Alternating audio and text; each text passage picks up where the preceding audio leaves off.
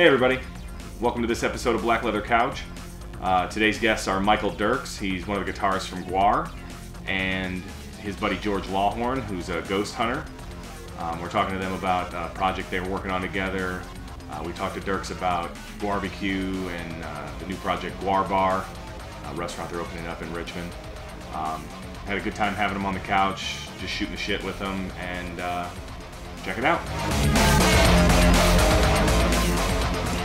Always trying to get interesting people on the couch, and You failed miserably. I failed miserably. I got the most interesting person that I've ever met, and that was yesterday. No. Um, well, let's. I'm gonna skip over all the basic bullshit about you know where were you born, where'd you come Well, from. that's the best part. Well, not for him, not for George. And nobody, nobody knows who I am. yeah, he's just gonna be that guy. We're gonna call you his George assistant. came from Florida. Sidekick. That's That's how we should do it. You tell me everything about him, and he tells everything about you. Let me get Wikipedia. yeah, let me pull that up. George was born in a video update in South Florida. he was raised by chimpanzees. Um, Just one. Shaved or not a, shaved? sing- a single mother chimpanzee. Waxed. she had to. She had to work the. She had to work the clubs. Was, Everyone's heard about that dancing chimpanzee. she really knew how to work a pole. Mm. I hear she knew how to work a banana as well. Yes. But um, um. By a So pole, we mean a pole. Yes. Yeah, by the- banana, Eastern European. and by it's- banana I meant cock, so it's okay. It was a poke too. um. So the biggest thing right now going on is uh, the start of GWAR Bar. Yes. How is that uh, progressing? Uh, Well, what is it first? Because I, I know the basics, but uh, other people may not. Um, GWAR Bar is an ideal we've been bouncing around for a really long time. Um, I guess I know just since the original GWAR theme was written, that was one of the main lines that well, we play guitar and we'll trash your bar. The GWAR Bar just is something that had to happen just because it rhymes. Um, but if it rhymes, it must be Yeah. made.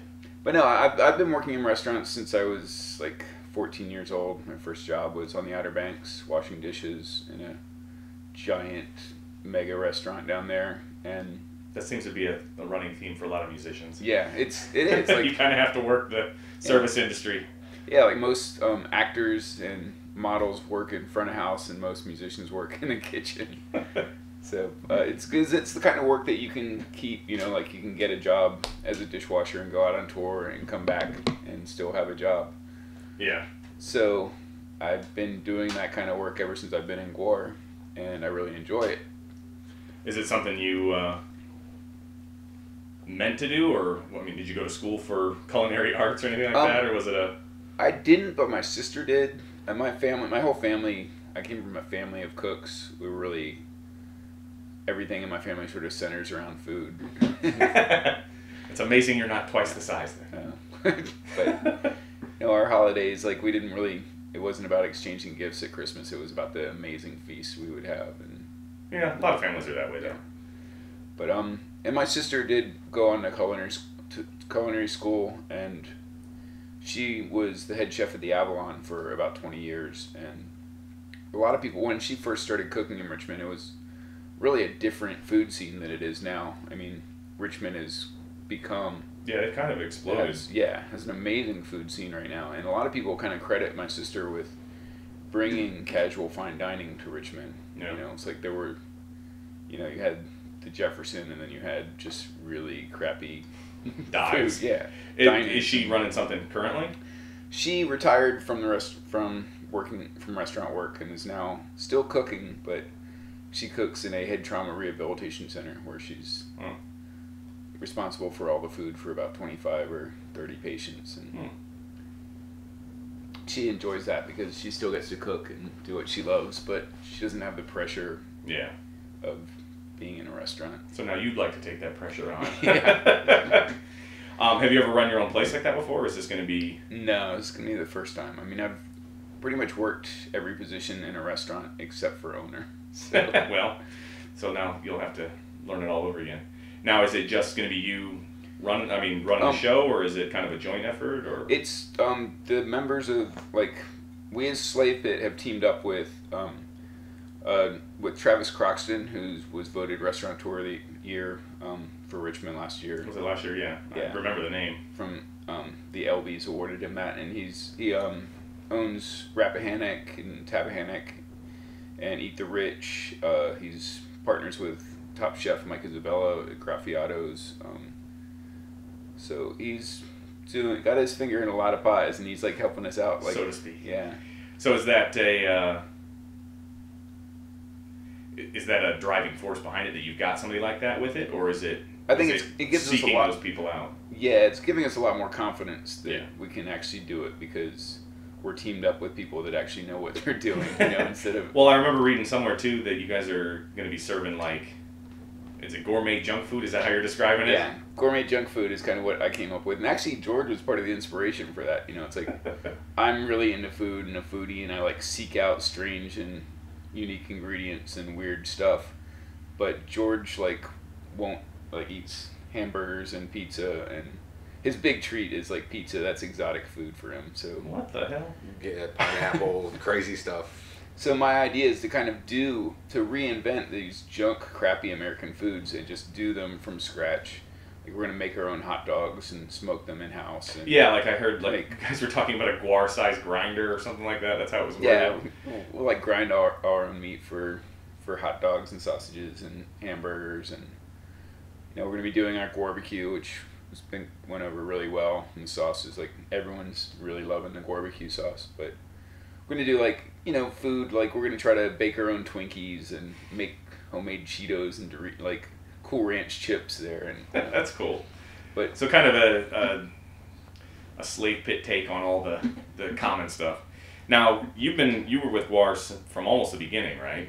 yeah I joined um right after the first album came out. I Okay. did all the touring for Hell-O and and I've been on every album since. So kind of a goofier question then. Did you ever think it would bring you back full circle to the restaurant business, or is that? Um, I mean, you guys have always just been goofy and fun about everything anyway, so it's kind of, I don't want to say it's fitting, but it's more like, eh, it's what they're gonna, yeah, they're gonna do what they're gonna do kind of thing. So Yeah, I mean, originally when I first joined, I thought I was gonna join this band and go out and see California once or twice, and then that would be it. You know, I dropped out of VCU. Thought thought I was taking a year off to go on tour and go out to California, and here it is, almost thirty years later, I'm still doing it. But yeah, I mean, I was always thinking like, yeah, once I'm done with GWAR, I'll it'd be really cool to open a restaurant, and so now so it hasn't been outside the realm of no, it's something that I've always do. been like banging around. And like a few years ago, we started looking for. Um, GWAR's always had a slave pit, which has been our base of operations, where we build our um, props and um, practice and record our albums. We've always rented places, so we were wanted to look into like buying a place. So we were looking at all these possibilities for places to buy, and some of them were just huge. And like, wow, what are we gonna do with all this space? And I was like, we should could have part of it as a restaurant. And like, people were like, what are you talking about? But Dave actually got really excited about that concept, and you know, the more actually buying the building didn't work out yet. We're still looking, but um, for for GWAR, um, but but um, the idea of the GWAR bar like kind of took root in his mind as well, and he um, when he met up with an old friend of his from high school, got in touch with him. Who's uh, Jonathan Staples, who owns like a dozen restaurants in D.C. and he's partners with um, Bryan Voltaggio from Top Chef Masters and Mike Isabella and a bunch of.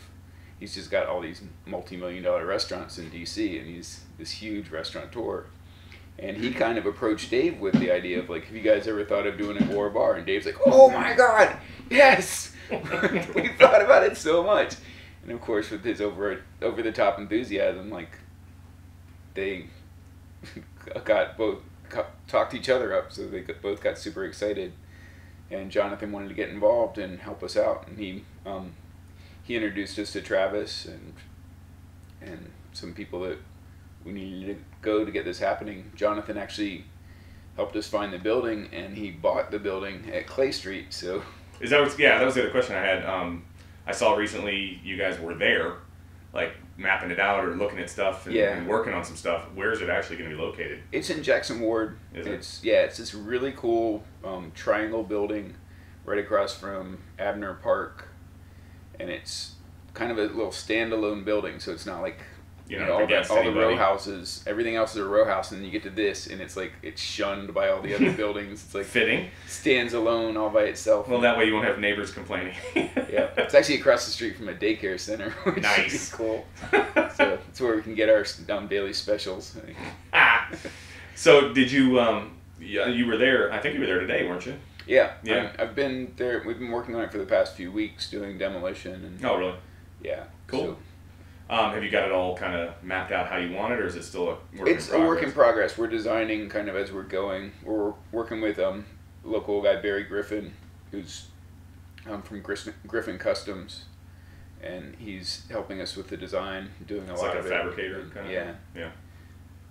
Um, what about? Uh, I mean, I know it's it's going to be GWAR themed, obviously, but how? Uh, like, are you planning on having like a stage kind of set up too, or a lot of restaurants have like a Yeah, place set aside? Um, what we're eventually thinking about doing is we actually have a lot um, attached to the building. So we have property out back that we're thinking about turning into a beer garden. Oh, okay. So eventually we'd like to have an outdoor stage and be able to do shows in the lot there. And well, actually, it's a two story building with bars on both floors. And so we're going to have, eventually, not, not when we first open, but we're going to have a deck off the second floor that overlooks the beer garden. Like a gonna stage. well, you're going to be able to like stand up there and look down upon the, Oh, the stage and Gotcha. should be able to hold like several hundred people back there, Cool. which would be Kind of a new base of operations eventually, you hope, or Um, is that not going to be big enough? For yeah, you it's not talking- big enough to Yeah. house GWAR, but is is anything really big enough to house GWAR? um, I had some. Uh, I was gonna say I, I almost went out and got some uh, fan questions before uh, you guys got here, but I was worried that uh, things may not pan together since George here decided to take ill the last time we were trying to do something. Um, have you met any of the neighbors and stuff like that? Has, has people been receptive in the area? or- Yeah, actually, um, a lot of people been the. It's one side down the one street is actually residences, and I haven't met too many of the people that live there. I met a few people. Actually, our next door neighbor is a good friend friend of mine. who's the chef at Post Bellum, so Okay. she's super excited about having us next door. then right across on the other side is a bicycle food delivery place, so we're gonna have like Yeah. built-in delivery guys. nice. Make them dress up for each of the deliveries. And then the guy from the Gelato Street down the store, no, built putting in a Gelato Street down the street, at Gelato store down the street, came by and he was super excited to have us. And another guy who lives across the street came by. He was like, "Oh, I'm gonna have to renew my lease. I was gonna move out, but if you guys are coming in, I'm gonna stay." yeah, that's the thing. Like, and you're right. What you said earlier, Richmond's just kind of coming to their own with a bunch of different um, restaurants and real specific kind of venues and stuff like that. So Yeah. it's actually like perfect timing for getting this thing rolling. So I was actually pretty excited myself. I was like, wow, we need things like this because Richmond will reinvent itself every couple of years and then stagnate and then do it again. So Yeah, this is this is gonna be pretty cool, I think. yeah, it's Um, gonna be really cool. I think it's gonna be one of the coolest restaurants. And you're not biased at all. No, not at all. Um, do you guys? I mean, I, I know I'm getting into more specifics about it, but do you have? I mean, I know you've got ideas for some of the food and stuff like that, but do you have like uh, other than layout? Do you have like? Are you gonna make the waitresses dress up and stuff like that? Like, Yeah, Because I mean, I you I guys have actually been a part of my life in and out over the years, just indirectly. Because I went to school with a guy that I guess loaded for you guys way back in the day, and um, when my friend had her store down in Richmond, uh, Slymenstra came down and um, you guys I think were playing Twisters or something, and she was a part of that. And like, it's just been like really on the outside cusp of everything for as long as I can remember. So all of this stuff has been really kind of funny to to see it coming to fruition. But do you guys have plans for stuff like that, or is it? Well, we've debated on whether we would have the waitresses actually like in chainmail bikinis and stuff like that, but I think we kind of figured that that might be a little bit too over the top. We want to still be able to have people come in and feel comfortable just eating there. Family It's not friendly. yeah. So Somewhat, quasi quasi yeah. family friendly. How about advanced family Yeah. friendly? the kind of families that come to barbecue. Yeah, Progressive, exactly. progressive families. It's, Yeah. Yeah. It's like barbecue's kind of family friendly. Except for some of the band names. Yeah, that's what I was. That's one of the questions or one of the things I was talking to my wife about was. it's Manson family friendly. There Yeah, you go. exactly. There you go. That put that right in the front of the uh, right in the front of the menu. Um, so with all that going on, you've also got uh, band stuff. You guys are going to be performing at GWAR-B-QUE. Yeah. Um, for people that don't know, what's a little bit of the history of barbecue too? Since I guess barbecue helped kind of push this out too because of the sauce and all the other yeah, stuff. That's more. yeah. So I'm kind of going backwards, but what? Uh, how did barbecue come to be Um, originally? Well, we used to have our the slave pit used to be located on Chamberlain Avenue. We had a big warehouse there with a yard, and it seemed like every summer we would kind of throw these parties there and just have bands. It was just sort of a word of mouth thing, and we would buy a few kegs, and it's actually um, one year was Lamb of God's very first show was Nice. playing at a barbecue, and but we would do that every once in a while, and it was Who's that? Who? um, yeah. Uh, You probably remember them as Burn the Bridge. yes. Oh, oh, oh, yeah, those guys. but after we moved out of Chamberlain, we didn't have the yard anymore, and you know, people would still, you know, they would kind of. Hey, you guys doing that again? Yeah, it grew in people's memory, and Yeah. it's like people that weren't there would hear about them, like, oh, and it's like became these legendary parties that you know because people. Best way Yeah. for things to happen. And so I kind of wanted to try to re reignite that and start it up again. So we did one um, five years ago down at the bike lot, and you know we just played it, did a rock show, and got a bunch of bands to play, and tried to put together some other activities like the Spew Olympics, and we had a um, American a hole karaoke contest and stuff like that, and just try to make it like a fun type show, but like you know totally low budget punk rock thing. You know, Yeah. we, we got about like 500 people out there. and- Damn. Baked everyone on the asphalt. Yeah, it was super hot, and we only had one porta potty. no, God. but it was a lot of fun. So we um, kept doing it. The next year, we tried to get Haddad's, and um, and that was the year that Best Friends Day had the troubles with like people slashing tires, and the police tried to shut it down. And Where at, at, at Haddad's? Really? Yeah, because Best Friends. I, I vaguely remember that. Best Friends Day had been doing their their show out at Haddad's, and like it was really really cool vibe they created out there. Yeah. And that was How did you manage to get Guar in there after something like that? well. That was It's like, the oh, thing. this will be fun. Yeah. Yeah. that stuff, best friends.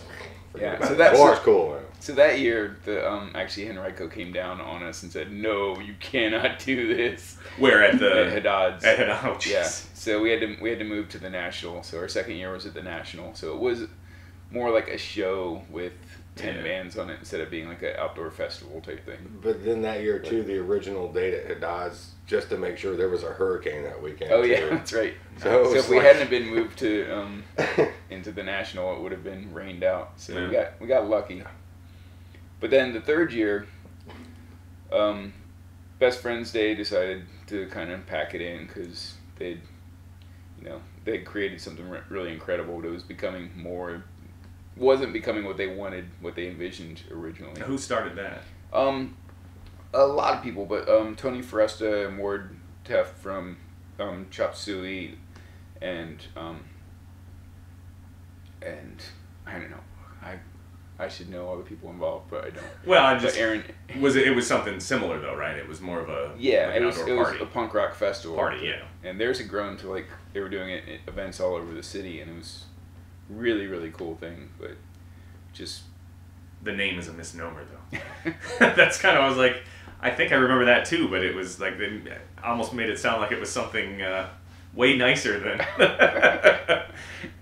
hey, it was. It was about best friends and you know getting really really drunk and throwing. That's what each best other friends do. air. Yeah.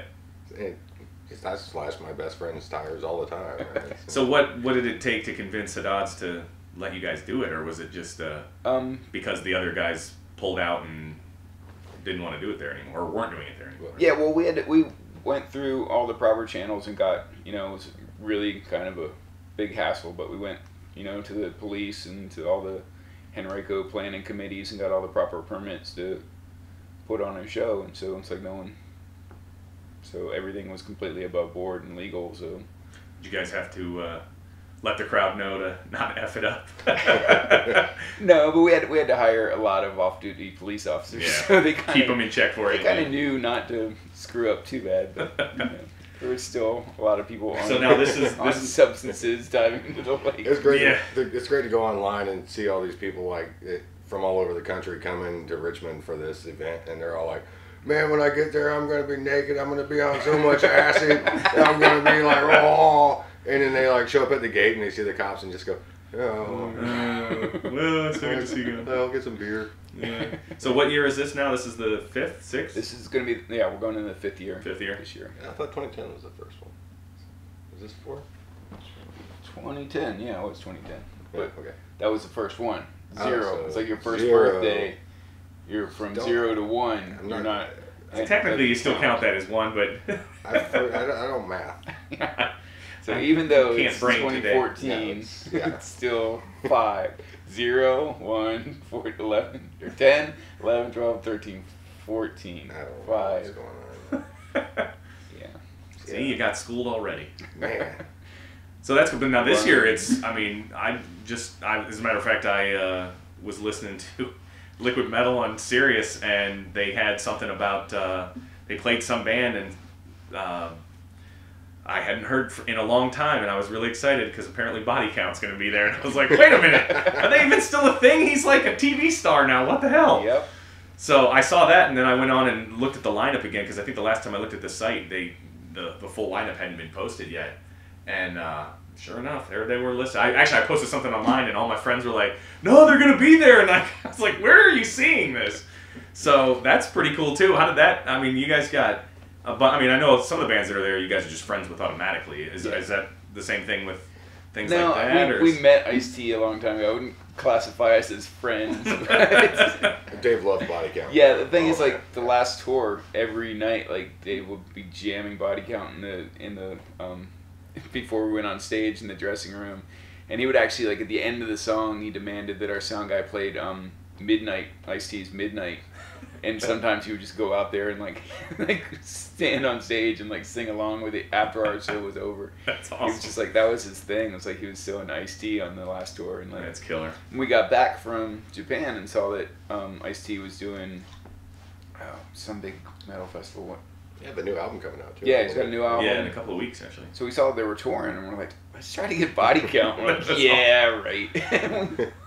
and we got in touch with them, and they're like, yeah, sure. Sweet. That's awesome. Yeah. Is, isn't Coco going to be there too? yeah, I think Coco's gonna be there doing an autograph Coco signing. fans. oh boy. Completely, uh, just make her a member of, uh, of GWAR. Yeah. Dress her up. awesome. All right, so There's, I think there's another special guest band that we haven't announced yet, so we're still saving one more oh, surprise. you can totally announce it on here. I can't. Brad would kill me if I blew it, blew the announcement. Ah, well, you can at least announce that there will be an announcement. How about that? There yes, you go. There will be a special last minute band added to it. Sweet. Um, now, are you involved in all the specifics of that stuff, or do you guys have like a company that handles the logistics, or is it really just? It's You guys have always been, I don't want to say mom and pop, but that's pretty much the only way to describe it. It's Yeah, it's- self-made yeah. and do it yourself. Yeah. do it yourself. There you go, DIY. Yeah, So you guys are handling all the logistics of that, permits and all that shit. yep. Yeah, that's that's love for the fans right there then too, because all the all the headaches that that shit creates, I'm sure, is no fun. Yeah. but um, you've got, like I said, you guys have always got a lot of shit going on, uh, staying creative and staying fun. So that bridges to the next thing, which is why George is here too. Oh, Huh? What? I'm, I'm here for the beer. I came for the beer and the bitches. Um, Where you guys the have got a uh, well. If I call her that, she kicks my ass. um, but you guys have got a project between the two of you coming up. Yes. that Well, has we've been in working on it for a while. Um, Yeah. It's like five years now. Well, George is a slow learner, so we're. I'm, I'm not a quick study. Yeah. Now I've seen that you've been actually going around. Uh, maybe it's just that it's been popping up recently more. You've been hitting a lot of locations for your project, which well, that's him just going out. I just, going out and doing me. shit. That's What he does. Normal me is. well, it's uh, funny because like you and I met because a mutual friend told me you were doing something and that I might be able to help, Right. et cetera, et cetera. And that was like a year or so ago, but It's been a while since we started this. Yeah. but the uh, the project itself, if you want to give the, the quick overview of what that is, oh, sure, absolutely. Um, are we are we filming yet? we are, we we have been for a little bit ever Oh, since yeah, you oh, had yeah. the first beer. Oh, really? Yeah, Oh, when, when am I supposed to take my clothes off? uh, that comes later, Okay, good. and so do you. okay, good, good. I was worried. towel. Yeah, oh yeah. That's so, why it's a leather couch. It wipes off. Oh yeah. That's wondering why I If that couch could off. talk, holy crap! And the couch and the cushions don't flip either. They're those cheaper ones. okay, good. yeah. Um, yeah, we're working on a pilot for a TV show called Chasing Spirits. It's uh, I had the idea a couple of years ago whenever I was doing a uh, ghost hunt in an old mental hospital and um, uh, was of course drunk as shit. Can we say shit on here? You can say shit, fuck, whatever you want. Okay, You can say fuck on the internet. Oh yeah. What? Yeah. Get out. All right, give me some of this internet. You can show balls, but I don't recommend it. no. Okay. I think Chad's got that cornered anyway. yeah, he's got that market down. But uh, But so you guys are working on that together? Is that But yeah, but yeah, it's the um, yeah. I was in this asylum uh, and I banged my head really hard on this like low hanging pipe, and thought, that's what we'll call it? and it made this like sound like the Taco Bell commercials, and it was so funny. And uh, I thought, man, this really somebody needs to be filming this. And I just thought of all the, the the shows about ghost hunting that are on right now, and how they're all the same. I mean, they'll take themselves very seriously and Yeah, which is even funnier considering how scripted they all seem. It's just so fake and staged, and just it's redundant. And uh, I got back to the house and was like, "Derks, dude, uh, let's let's do a TV show. Let's do a TV show about drunk ghost hunting." And it, he was like, "No." well, I will say the name and the concept are kind of what made me go, all right, I'll see what these guys like. Because I saw your original like, um, internet, hey, help us out kind of Oh yeah. trailer thing, and I was worried at first because the very beginning of it seemed really. serious. Yeah, I'm like, Yeah. really? These guys are taking this shit this seriously? And then it went into its own. I was like, oh, okay, good. I was like, because this, this shit could have gone really bad Yeah. if it if it had been nothing but we were really intense and, and really serious about this. I was so worried when I first saw it. So, well, once uh, once I saw the rest of it, and then you and I talked, I was way more I was way more on board. Uh, yeah, it's uh, it's it's kind of like a. I mean, it, there needs at least needs to be like one kind of character on the show that like takes the the paranormal investigation like very seriously for that. The straight guy. Yeah, yeah. it's Everything. Everybody needs a straight guy. and then every, that'll be me, and then everybody's gonna pick on me. Wait, you're gonna be the straight guy? Yeah. Well, he's gonna be the drunk. I'll be straight the guy. drunk.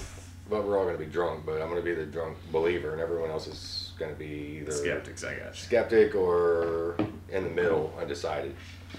But uh, yeah, I'm, I'm I'm the one that's the believer and the punch. And you agreed to this, huh? He gets, he gets to Tentatively. he gets- Tentative. no, that's why nothing's come to fruition yet. Yeah, I'm it's- just he's still remaining neutral. Yeah, I've what I've done two ghost hunts. yeah, we did what Bunnyman Bridge and uh, the s- Pennhurst. Slaves. Oh, we, we, the the footage we filmed at Oh, we didn't- and the footage didn't turn out. It got erased. Ooh, What? spooky. Uh, Could be the 15 year old camera I was using, but well, I think it was the ghost. I'm gonna say it was the ghost. Probably a ghost. Makes for better television. Yeah. Although then now you have nothing to show, so I don't know if that So makes we for better television or not. we could just like watch like the static, Static. and talk about it and be like, oh, "There's a ghost. There's a ghost. There's a boob. There's a ghost." It's like the scrambled porn from back in the day. Like- that's an elbow, I think. I know that's a boob. That's totally a boob. Yeah. That's totally boob. No, he's got a pimple on his elbow. Damn it. So it's in the let's say pre-production stage then, we do have a but you filmed some, yeah. we, we do have a pretty good amount of footage. um, that I'm putting together, and we once the GWAR Bar Indiegogo is finished and all that's done. But yeah, I was gonna. Head, how much longer does that Indiegogo for the GWARbar have? Less than two weeks now. Yeah. Yeah. How, how close are you guys? I'm not halfway yet there yet. Yeah. So Well, maybe this will help. Yeah. Not that I have a whole lot of followers. I Um, expect that's the whole reason I'm doing this because he promised it with like Thousands. Yeah. Well, I am. I'm gonna be promoting the shit out of it. So. Um, We get dozens of. But yeah, um, hundreds of eyeballs, Yes. which breaks down to fifties of people. It's well into the tens. it's well into the teens. Who wants to marry a hundred air? oh, but Indiegogo slash GWARbar go. You can um, contribute, get all kinds of cool perks like uh, you can get a cooking class from me. Yeah, I saw some of the uh, some of the prizes on there. Were I like the uh, one dollar would be uh, Undying Scorn. the undying scorn, and then what was it? Twenty five dollars will acknowledge your existence. That's a good one too. I do like that. Those are funny.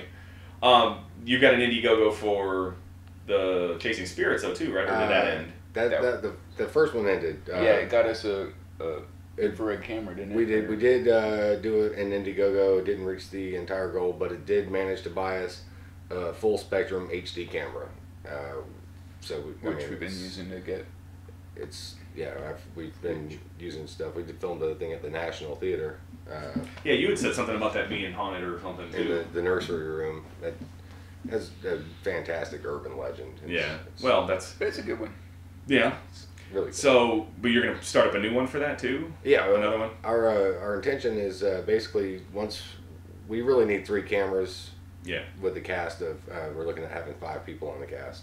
Now you had said something too about rotating uh, band members or musicians through too, like as your Uh, guests. Yeah, it's we'll, we'll keep five permanent and then have a a sixth spot open as a rotating spot. Okay. So uh, if we visit the West Coast or Canada, New York, Whoever's closest Miami, kind of thing. we can like kind of reach out to people who are interested and uh, Get celebrities and bring them in, uh, musicians, That's actors. exactly. You need iced tea on a ghost time or cocoa, Cocoa. on a ghost time. yeah. nice. We need Ghostface Killah. That's what we. Ah, need. there you go. That's- Bring his peeps. Um, so that's the next project, and it's still up in the air.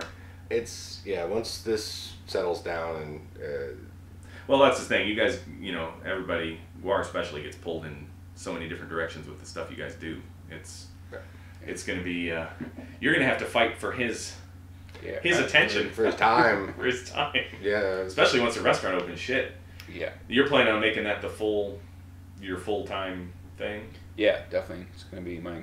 Oh, what does that do whenever for, uh, for touring and stuff like that. You guys Well, we're still still gonna tour. I mean, I'm gonna have. I'm gonna be executive chef, but I'm gonna have a head chef there who Yeah. handles everything for me that I trust to. so you got how are you guys working on any plans for touring stuff or is that Yeah. Um, still early?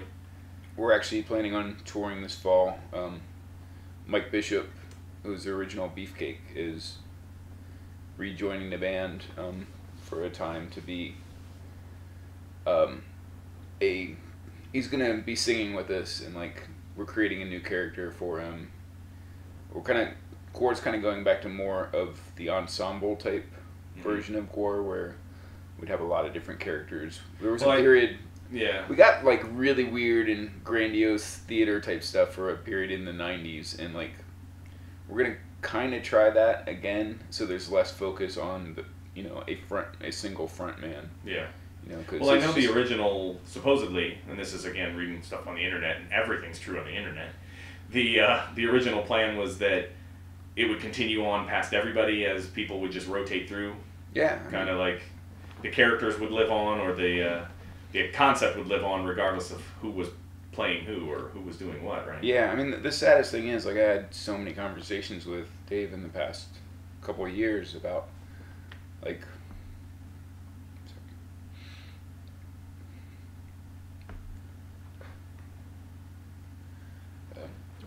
Dave um, had intended to retire it after the 30th anniversary tour, and he was planning on picking out his replacement. And